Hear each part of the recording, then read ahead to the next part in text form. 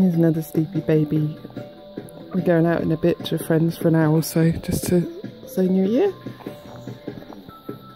And He'll be coming with us. Yeah, honey.